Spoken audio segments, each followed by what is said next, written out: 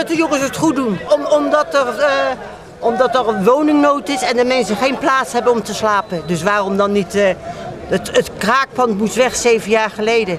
En daar staat nog enkel bagger staat er in de ding. En de jongens moesten eruit. Ik ben eh krakertje uit Utrecht.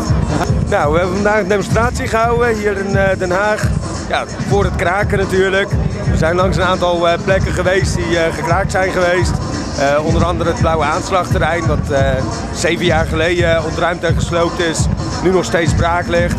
En eh, de illusie, die is vorig jaar ontruimd. En daar is nu is het gesloopt. Nou, we staan nu weer op het Kerkplein, waar we ook begonnen zijn vanmiddag.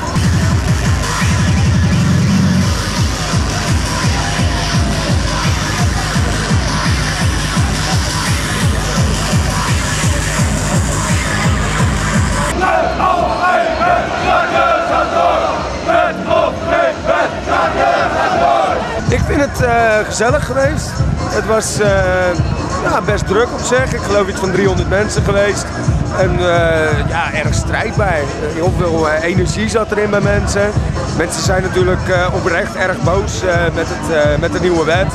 En ja, hebben toch wel een duidelijk signaal laten, gaan, laten zien dat ze zich niet eh, door die nieuwe wet laten afschrikken of eh, dat dat het einde van het kraken betekent. Tot nu toe, voor, voor zover bekend, nog eh, vier, vier pandjes wat ze ontruimd hebben op basis van de nieuwe wet. En dat is in verhouding tot een paar duizend kraakpanden die er zijn in Nederland natuurlijk niet echt veel. En er lijken maar op weinig plekken dat de politie ook echt actief die nieuwe wet aan het handhaven is. Dus mensen zitten nog steeds rustig op hun plekje. En er zijn ook alweer een paar nieuwe pandjes opengeschopt. Ja, gaat allemaal wel goed. Bereiken is natuurlijk niet alleen wat we willen bereiken met deze demonstratie. Maar dat is het, eh, het oplossen van de woningnood en het tegengaan van de leegstand. En ja, zolang als dat niet gebeurt, zolang als er duizenden mensen op zoek zijn naar een woning en, eh, of studenten naar een kamer en zolang als er miljoenen eh, vierkante meter kantoor en bedrijfsruimte leeg staat, ja, blijft kraken gewoon noodzakelijk. En ja, het is nu officieel natuurlijk aan de overheid om de leegstand op te lossen. Want kraken mag niet meer. Maar ik zie ook nog heel weinig overheidsinstellingen daadwerkelijk iets doen aan de leegstand. En zolang als dat niet gebeurt, vind ik dat het gewoon nog steeds eh, mogelijk is, noodzakelijk is en gerecht- rechtvaardigd is om door te blijven kraken. Helemaal niet. Dat is toch geen criminaliteit? Ze mogen toch best in een huisje wonen? Ja, ze hebben wel recht op hun huis. Ja. En trouwens, als het gebouw toch al niet gebruikt wordt, waarom mogen zij er dan niet in zitten? Door!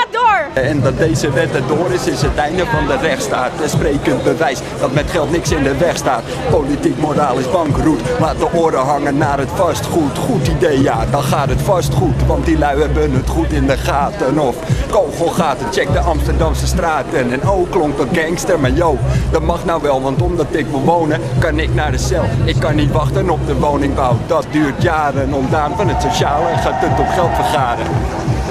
Het kraken zelf kun je natuurlijk niet echt als een oplossing zien. Het is wel voor een individuele oplossing, eh, maar geen structurele oplossing. Eh, wat je wel met kraken doet, is het absoluut eigendomsrecht ter discussie stellen. En dat eigendomsrecht, dat is natuurlijk uiteindelijk de oorzaak van eh, de leegstand, de woningnood. Het is nog steeds zo dat mensen ja, veel geld kunnen verdienen door eigenlijk te parasiteren op de woningnood. Eh, panden leeg laten staan, speculeren. eh, woningbouwcorporaties die hele wijken slopen om de dure koopwoningen neer te zetten. Nou, dat is allemaal een gevolg van het eigendomsrecht. En dat eigendomsrecht dat moet gewoon ter discussie gesteld worden. En het wonen is gewoon veel belangrijker dan het eigendom.